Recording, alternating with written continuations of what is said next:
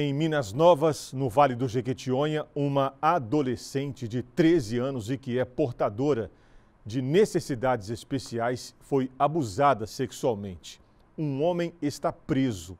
Segundo a Polícia Civil, o suspeito é o pai da vítima. Ao vivo, o repórter Miguel Braz fala outras informações desse caso absurdo, Miguel. Boa noite para você.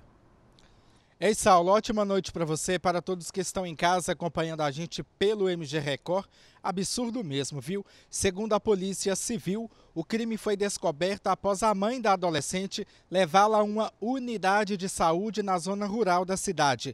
Lá ficou constatado que a menina está grávida de gêmeos. Após todos os procedimentos médicos, a garota foi encaminhada para a delegacia e, por meio de escuta especializada, foram confirmados os abusos sofridos pelo pai, o homem de 53 anos. Lá, todas as medidas foram tomadas e a Polícia Civil representou pela prisão preventiva do homem.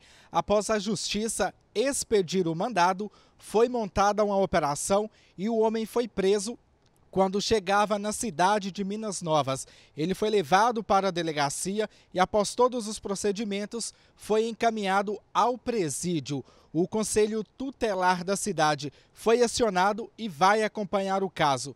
Claro, o inquérito foi instaurado e agora a polícia vai apurar o crime e, após ser concluído, o inquérito será enviado para a justiça. Só lembrando que a vítima tem 13 anos e é portadora de necessidades especiais. Saulo.